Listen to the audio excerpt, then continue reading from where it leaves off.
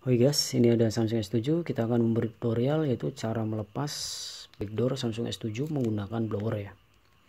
Ini di lem power glue ya.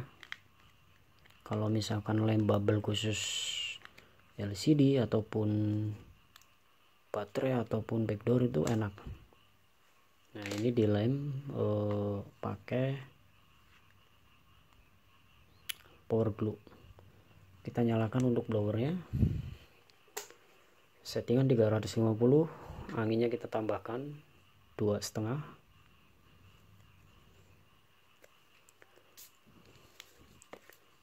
Kita taruh di bawah. Kita off kan dulu untuk handphonenya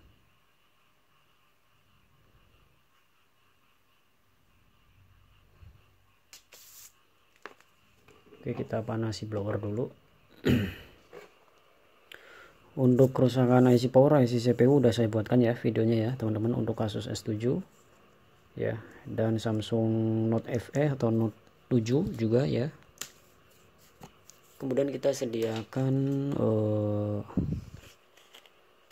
buat belah ya ini. Buat belah posisi pinggir. Nah ini udah panas 350 kita hangatkan backdoornya ya pada bagian bawah. Supaya lemnya ini lunak.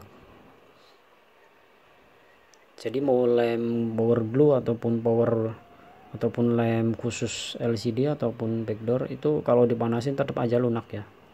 Cuman hasilnya itu jelek. Kalau untuk power glue jadi plastiknya ngerusak di frame ya. Kalau belepotan dan bahaya bisa masuk ke area LCD ya.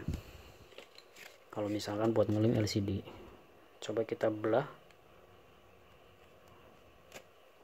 Nah ini udah bisa dibelah. Kalau misalnya masih keras boleh untuk dipanaskan lagi.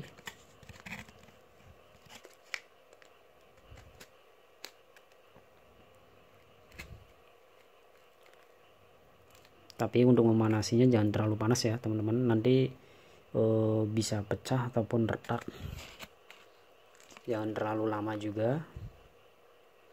Jadi ya secukupnya aja.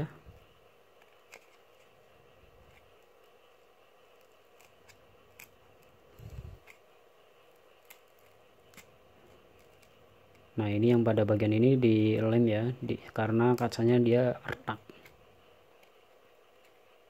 Jadi supaya dia nggak ambrol dia dilem power glue. Kalau untuk bagian luar nggak apa-apa supaya bling-bling kacanya dia tidak lukain tangan ya. Ini hasilnya mulus cuman dia mungkin melepasnya melepas manual tanpa pemanas.